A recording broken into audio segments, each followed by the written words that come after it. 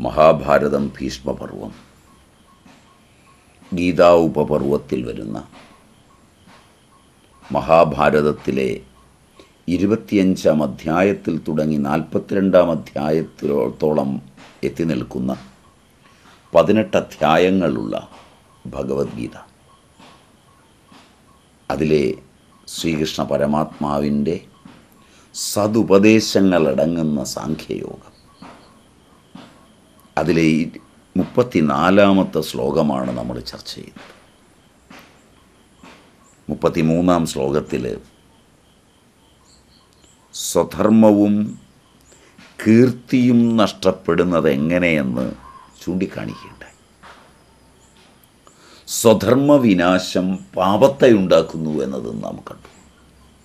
പാപമചിരേണ ജന്മജന്മാന്തരങ്ങൾക്ക് വഴിവെക്കുമെന്നുള്ളത് പാപപങ്കിലമായ ജീവിതത്തിന്റെ തുടർച്ച.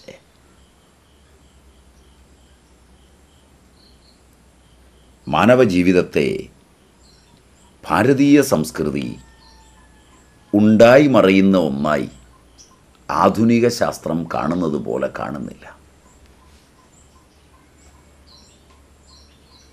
ലിംഗശരീരമെന്നൊന്ന് ഈ കർമ്മങ്ങളുടെ വാസനാജാലങ്ങളെയും വഹിച്ചുകൊണ്ട് പോകുന്നുണ്ടെന്നും അത് പ്രാര പാരമ്പര്യ പ്രേരിതമായി കർമ്മ പാരമ്പര്യത്തിന്റെ പ്രേരണയോടുകൂടി പുനർജനി തേടുന്നുണ്ടെന്നും. ആ പുനർജനിയിൽ ഉത്തരോത്തരം ഉത്കർഷമാണ് ഉണ്ടാവേണ്ടതെന്നും അപകർഷമുണ്ടായിക്കൂടെന്നും ആഗ്രഹിക്കുന്നു. ഉത്തമനായി ജീവിക്കുകയും. ഉത്തമമായ സാഹചര്യങ്ങൾ പൂർവ പുണ്യങ്ങൾ കൊണ്ട് ലഭിക്കുകയും ചെയ്താൽ അഹങ്കാരം കൊണ്ട് ലഭിച്ച സാഹചര്യങ്ങളെയെല്ലാം തട്ടിത്തകർത്ത് പുനർജനിക്കുള്ള ബീജങ്ങൾ നീചയോനികളിലേക്ക് സമ്പാദിക്കരുത് എന്നുള്ളതാണ് ജനിച്ചവനോടുള്ള ഭാരതത്തിന്റെ സന്ദേശം.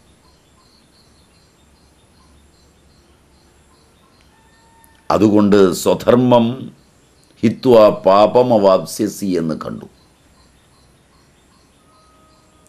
അകീർത്തി കൊണ്ട്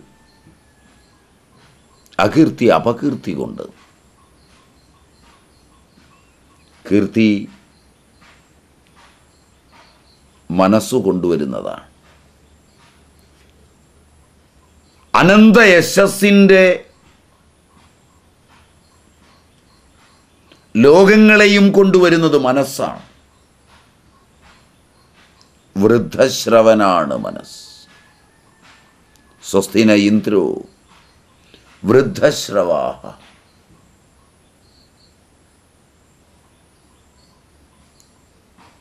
കേട്ടതെല്ലാം അനുശീലിച്ച മനസ്സ്. വർത്തമാന അനുശീലനങ്ങളുടെ അനവധ്യ സുന്ദര ലോകങ്ങളിലൂടെ സഞ്ചരിക്കുന്ന മനസ്സ്.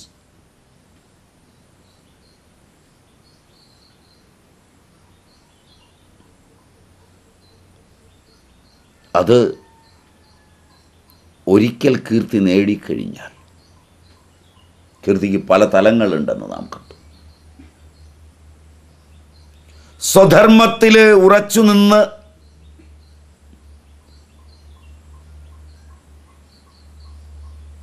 തന്റെ അനുഭവത്തിൽ തനിക്ക് വേണ്ടി നേടിയെടുക്കുന്ന ഒരു കീർത്തിയുണ്ട്. തന്നോട് തന്നെ നീതി പുലർത്തുന്ന താൻ തനിക്ക് കൊടുക്കുന്ന യശസ്സിന്റെ ഒരു ലോകം. ആത്മതൃപ്തിയുടെ ആത്മസംവേദനത്തിന്റെ ആത്മാർത്ഥതയുടെ അഹൈതുകമായ കരുണയുടെ അചഞ്ചലമായ സ്ഥൈര്യത്തിന്റെ അക്ഷോഭ്യമായ ധൈര്യത്തിന്റെ അസാധാരണമായ ക്ഷമയുടെ സ്തുത്യർഹമായ കർമ്മ നൈപുണിയുടെ ലോകങ്ങളിൽ വിരാജിക്കുമ്പോൾ വ്യക്തിക്ക് അവനോട് തന്നെ തോന്നുന്ന സംവേദനത്തിൽ ഉളവാകുന്ന തൃപ്തിയുടെ അനന്തമായ കീർത്തിയുടെ പരിപ്രേക്ഷ്യമുണ്ട്. ഏറ്റവും പ്രധാനപ്പെട്ടതാണ്.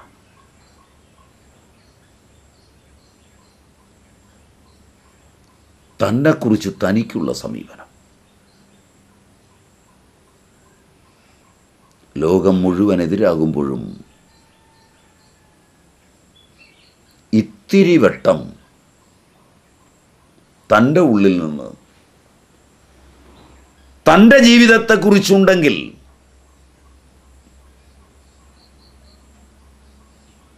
ജന്മജന്മാന്തരങ്ങളെ വരുതിയിൽ കൊണ്ടുവരാൻ കഴിയും.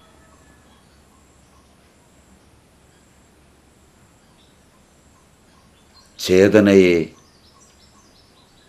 തന്റെ നിശ്ചയത്തിന്റെ ലോകങ്ങളിലൂടെ ആനയിക്കാൻ കഴിയും. നഷ്ടപ്പെട്ട പ്രതാപ ഐശ്വര്യങ്ങളെ മുഴുവൻ വീണ്ടെടുക്കാൻ കഴിയും.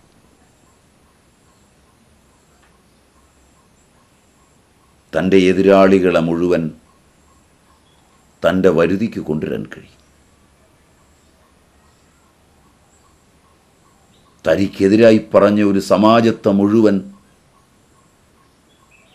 കുറ്റബോധത്തിൽ നിലനിർത്തി പശ്ചാത്തപിപ്പിച്ച് ശുദ്ധീകരിക്കാൻ കഴിയും. അസാധാരണമായ ഇമാതിരി ഒരു കൃതിയുടെ ലോകമുണ്ട്. ക്ഷമയുടെയും സന്ത്യാഗത്തിന്റെയും സമചിത്തതയുടെയും സ്ഥൈര്യത്തിന്റെയും ധൈര്യത്തിന്റെയും സമുജ്വലമായ ലോകങ്ങളിലാണ്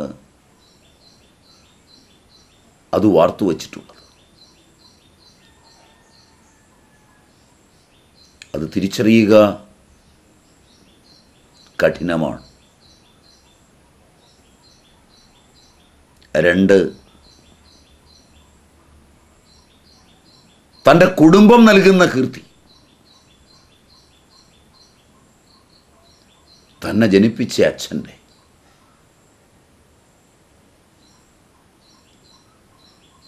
തന്നെ താലോലിച്ചു വളർത്തിയ മാതാവിന്റെ.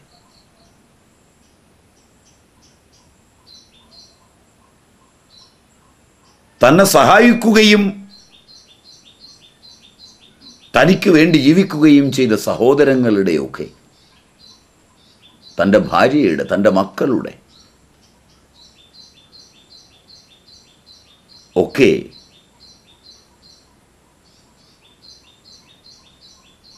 അറിവും ജീവിതവും കീർത്തിമാനാക്കുന്നതാണ്. കീർത്തിയുടെ കൗടുംബിക പശ്ചാത്തലം അതാണ്.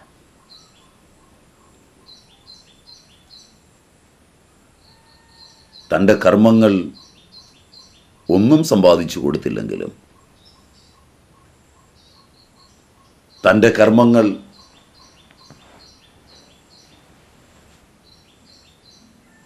അകീർത്തിയെ അപകീർത്തിയെ ഉണ്ടാക്കിയില്ല.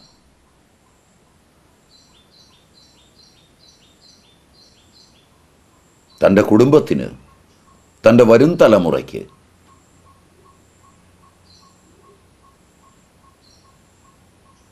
കീർത്തിയുടെ യശസ്സിന്റെ താവള്യത്തെ സംഭാവന ചെയ്തിട്ടുണ്ട്.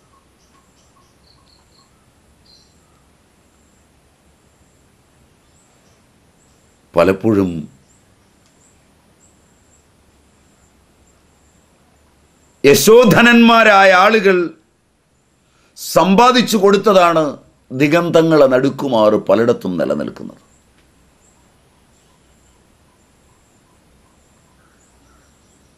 അനേകം തലമുറകൾക്കപ്പുറത്ത്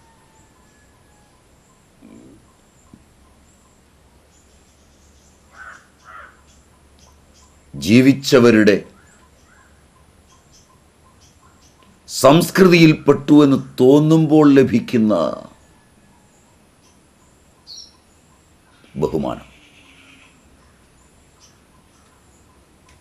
ആധുനിക കാലം ആധുനിക ജനാധിപത്യം ആധുനിക ചിന്ത ആധുനിക ആക്ടിവിസ്റ്റുകൾ ആധുനിക സാഹിത്യവും കലയും എത്ര ഗ്രന്ഥങ്ങളിലൂടെ എത്ര ദൃശ്യമാധ്യമങ്ങളിലൂടെ എത്ര സംവത്സരമായി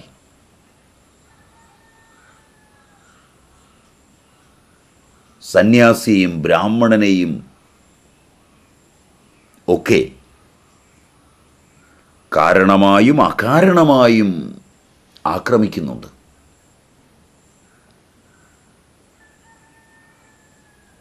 ആധുനിക കാലത്ത് കഴിഞ്ഞ ഒരു നൂറു വർഷത്തെ സാഹിത്യവും കലയും എടുത്താൽ ബ്രാഹ്മണ്യത്തെയോ സന്യാസത്തെയോ ഒന്ന് കുത്തി മുറിവേൽപ്പിക്കാത്ത.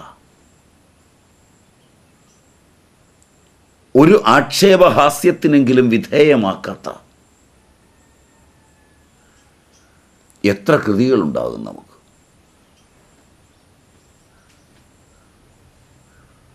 ഇത്രയും മുറിവേൽപ്പിച്ച് കഴിഞ്ഞിട്ടും അതിന്റെ പ്രതീകങ്ങളായി വേഷം ഇട്ടവരെ യജ്ഞോപവീതം ധരിച്ചെത്തുന്ന ബ്രാഹ്മണനെയും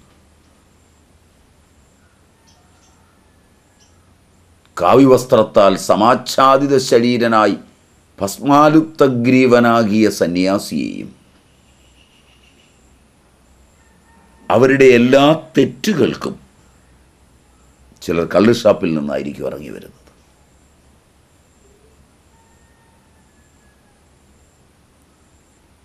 ചിലർ തെറ്റുകളുടെ കൂമ്പാരങ്ങളിലായിരിക്കും ജീവിക്കുന്നത്.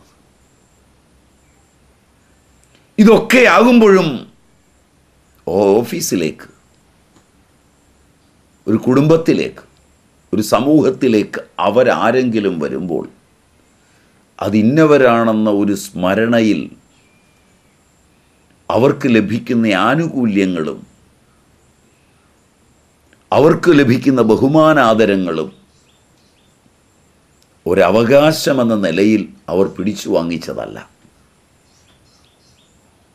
എന്നോ ജീവിച്ച് ഈ നാട്ടിൽ കീർത്തി അവശേഷിപ്പിച്ചിട്ട് പോയ ഒരു വർഗത്തിന്റെ വേഷമെടുത്താൽ പോലും കീർത്തി കിട്ടുമെങ്കിൽ കീർത്തിയുടെ കൗടുംബിക പശ്ചാത്തലം കീർത്തിയുടെ സാമൂഹിക പശ്ചാത്തലം കീർത്തിയുടെ യശോധാവള്യത്തിന്റെ മനഃശാസ്ത്രപരമായ പശ്ചാത്തലം ഒക്കെ നാം അറിയേണ്ടതാണ്.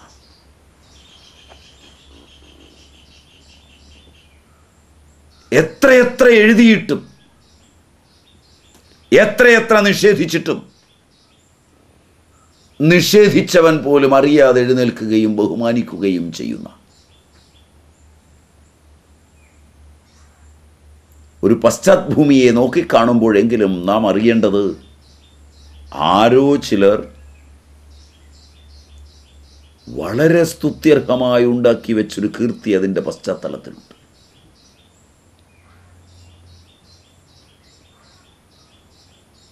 ജനാധിപത്യത്തിൽ പോലും വളരെ ഉന്നതരാണെന്ന് ലോകം അംഗീകരിച്ച ചില ഭരണാധികാരികളുടെ ഉൽപ്പതിഷ്ണുക്കളല്ലാത്ത ഉന്നതരല്ലാത്ത സകല തെറ്റുകുറ്റങ്ങളും തികഞ്ഞ മക്കളെ ലക്ഷോപലക്ഷം ജനങ്ങൾ ആരാധിച്ച് അവരോധിച്ച് അതിനേക്കാൾ സമർത്ഥരായ ആയിരങ്ങളുടെ നടുക്കുകൂടി എഴുന്നള്ളിച്ച് കൊണ്ടുപോയി ഉന്നതങ്ങളായ കസേരയിലിരുത്തുന്നത് എത്രയോ ഉദാഹരണങ്ങളാണ്.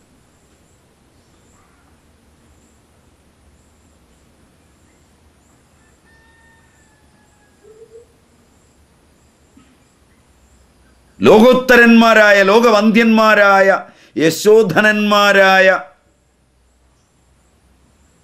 ആളുകളുടെ ഓരം ചേർന്ന് നിന്ന് ആ യശസ്സിന്റെ മുഴുവൻ അവകാശികളായി തീർന്നവരെത്രയാണ്? മക്കളെയും ഭാര്യയെയും വരെ തള്ളി. മഹാത്മശബ്ദത്തിന്റെയും ഗാന്ധി ശബ്ദത്തിന്റെയും യശോധാവള്യം ലോകം നടുക്കുമാറ് സ്വന്തം കുഞ്ഞുങ്ങളോ കുഞ്ഞുങ്ങളുടെ കുഞ്ഞുങ്ങളോ ഏറ്റുവാങ്ങാതെ ഒരു വിദേശ വനിതയ്ക്ക് പോലും നേടിയെടുക്കുവാൻ കഴിയുമാറ്. രാഷ്ട്രസീമയെ വരെ ഉല്ലംഘിച്ചു നിൽക്കുമെങ്കിൽ കീർത്തി എന്നത് ജീവിച്ചിരിക്കുന്ന ഇതിഹാസമാണ്. ഒരുവൻ മരിച്ചു കഴിഞ്ഞു അവന്റെ ശരീരവും അവന്റെ പാരമ്പര്യങ്ങളുമെല്ലാം വിട്ടുപോയി കഴിഞ്ഞും എന്തിനെയാണ് അവൻ കൂട്ടിക്കൊണ്ടുപോകുന്നത്? എന്തിലൂടെയാണ് അവൻ ദിഗന്ധങ്ങളെ നടുക്കി സഞ്ചരിക്കുന്നത്. എന്തിലാണവൻ ജീവിച്ചിരിക്കുന്നത്? എന്തിന്റെ സംപ്രേഷണത്തിലാണ് അവന്റെ ലോകങ്ങൾ വികസിക്കുന്നത്? ഇത് ചിന്തിച്ചാൽ എസ് എസിലാണെന്ന് കാണാം. അതുകൊണ്ട് അപകീർത്തിയുണ്ടായാൽ അപകീർത്തി കൊണ്ട് എന്തുണ്ടാവും? അത് ഉത്തരാർത്ഥത്തിൽ പറയും. എല്ലാ പ്രകാരത്തിലും മനുഷ്യർ അപകീർത്തിയിൽ നിന്നും തന്നെ രക്ഷിക്കണം. തദർത്ഥം കീർത്തി സമ്പാദിക്കണം. ഉത്തമമായ കീർത്തിയെ സമ്പാദിക്കണം. യശസ്സുകൊണ്ട് കീർത്തി കൊണ്ട് മനുഷ്യൻ മഹാപുരുഷനാകുന്നു. കീർത്തി മഹാപുരുഷ യജ്ഞസങ്കല്പത്തിലേക്കുള്ള യാത്ര കൂടിയാണ്. സർവാദരണീയമായ സർവോജ്വലമായ ശാന്തിയുടെ രംഗവേദിയിലേക്കുള്ള സമ്യക്കായ യാത്രയാണ് കീർത്തി. ലക്ഷക്കണക്കിന് ആളുകൾ ഉണ്ടായിക്കൊണ്ടിരിക്കുന്നു മരിച്ചുകൊണ്ടിരിക്കുന്നു. എന്നാൽ അതിന്റെ മൂല്യം വളരെ കുറച്ചു മാത്രമാണ്. കുറച്ചാളുകളെങ്കിലും ആ മൂല്യത്തെ തിരിച്ചറിയുന്നവരായുണ്ട്. അവർ മാത്രമാണ് അറിയുന്നത്. എന്നാൽ ഭൂതഭവ്യ ഭവിഷ്യത്തുകളെ വിചാരം ചെയ്താൽ ലക്ഷോപലക്ഷം കീടങ്ങളും പറവകളും എല്ലാം ജനിക്കുകയും മരിക്കുകയും ചെയ്യുന്നുണ്ട്. അതിൽ കൂടുതലൊന്നും പ്രസ്തുത മനുഷ്യർക്കും സിദ്ധമാകുന്നില്ല. തീനും കുടിയും ഇണചേരലുമാകുന്ന ലോകങ്ങളിലാണ് ഈ ജീവജാലങ്ങളെല്ലാം സസ്യജന്തു ഭേദമെന്നിയെ ജീവിച്ചു മരിക്കുന്നത്. അതിലപ്പുറമൊന്നും മനുഷ്യനും നേടുന്നതായി കാണുന്നില്ല സാധാരണതയാ. അവരുടെ ജീവിതം കിട്ടിയിട്ട് ആ ജീവിതം കൊണ്ട് സമാജത്തിനും വിശേഷിച്ച് ലാഭമൊന്നുമില്ല. മരണം കൊണ്ട് പ്രത്യേകിച്ച് നഷ്ടവുമില്ല. അതുകൊണ്ട് മനുഷ്യൻ ജീവിച്ചിരിക്കുമ്പോൾ തന്നെ മഹാത്മാവായി തീരണം. മരണത്തെ അതിജീവിക്കണം. യശസ്സില്ലാതെ ആരും മഹാത്മാപദത്തിന് യോഗ്യനാകുന്നില്ല. വിപതി ധൈര്യം യഥാഭ്യുദയേ ക്ഷമ സദസി വാക്പടുത യുധിവിക്രമ യശസി ചാഭിരുചി വ്യസനം ശ്രുതൗ. പ്രകൃതിസിദ്ധമിതം ഹി മഹാത്മനാം. മഹാത്മലക്ഷണം ഇങ്ങനെ പറയും. വിപതി ധൈര്യം അഥാ അഭ്യുദയേ ക്ഷമ. സദസി വാക്പടുത യുധി വിക്രമ. യശസി ച അഭിരുചി വ്യസനം ശ്രുതൗ. പ്രകൃതിസിദ്ധമിതം ഹി മഹാത്മനാം. ഗൃഹസ്ഥന്മാരിൽ മഹാത്മാവിന്റെ ലക്ഷണം ഇതാണ്. സന്യാസിയുടെ ലക്ഷണം എന്തായാലും ഗൃഹസ്ഥ മഹാത്മാവിന്റെ ലക്ഷണം ഇതാണ്. സന്യാസലക്ഷണം തിലകക്കുറിയും കാഷായ വസ്ത്രവും രാമനാമകീർത്തനവും ഒക്കെയാണ്. എന്നാൽ ഗൃഹസ്ഥൻ മഹാത്മാവാകുന്നത് ആറ് ഗുണങ്ങൾ പ്രാദുർഭൂതമാവണം. പ്രാദുർഭവിക്കണം. അവയെല്ലാം അവസാനം യശസ്സിൽ പര്യവസാനിക്കും. ഒന്ന് വിപതി ധൈര്യം. വിപതി ധൈര്യമെന്ന് പറഞ്ഞാൽ ആപത്ത് വരുമ്പോൾ അതിനോട് എങ്ങനെ സമീപിക്കും? ജീവിതം അനേകവിധ ആപത്തുകളുടെ ലോകമാണ്. ആന്തരികമായി വരുന്ന ആപത്തുകളാണ് അസൂയ മോഹം കാമം ക്രോധം ലോഭം മതം മാത്സര്യമൊക്കെ അതൊന്നും ആരും ആഗ്രഹിച്ചിട്ട് വരുന്നതൊന്നുമല്ല. താൻ ജീവിക്കുന്ന അന്തരീക്ഷത്തിൽ തനിക്ക് ലഭിക്കേണ്ടതാണെന്ന് വിശ്വസിച്ചിരിക്കുന്നവ മറ്റൊരാൾക്ക് കിട്ടുമ്പോൾ ആ സമയത്ത് അത് തന്റെ പൂർവകർമ്മം അതിനനുഗുണമല്ലെന്നൊന്നും തോന്നുകയില്ല. ചിലർക്കാകട്ടെ ഈ ലോകത്തിലെ നല്ലതെല്ലാം തന്റെതായിരിക്കണമെന്ന് കൂടി നിർബന്ധമുണ്ട് തനിക്ക് കിട്ടിയില്ലെങ്കിൽ തന്റെ പരിചയത്തിൽപ്പെട്ട ഒരുത്തനുമെങ്കിലും കിട്ടരുതെന്നുണ്ട്. അതെങ്കിലും തട്ടിക്കളഞ്ഞില്ലെങ്കിൽ സുഖം വരില്ല. അപ്പം ആന്തരികമായ ഒട്ടു വളരെ ആപത്തുകളുണ്ട്.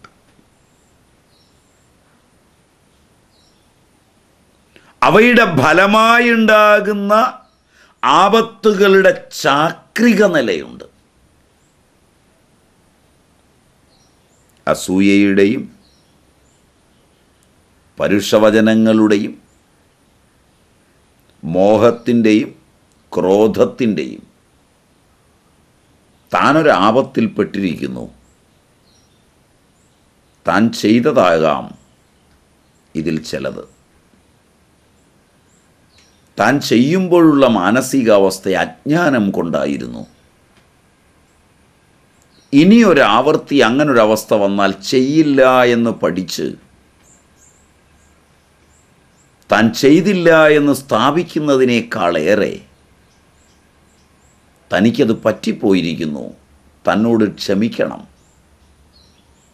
ഇനി സൂക്ഷിക്കുന്നതാണ് എന്ന് തന്നോട് തന്നെയും അന്യരോടും പറയാനുള്ള ക്ഷമയൊന്നും ലോകത്തിന് കിട്ടില്ല. ആപത്തിന്റെ ഒരു ലോകം അതാണ് താൻ ചെയ്തിട്ടില്ല. ചെയ്യാത്ത തന്നെ കുറ്റപ്പെടുത്തിയിരിക്കുന്നു. അത് രണ്ടാം ഘട്ടമാണ്. ജീവിതത്തിൽ വിപതി ധൈര്യം കീർത്തിയുടെ ലോകങ്ങളിൽ വളരെ പ്രധാനമാണ്.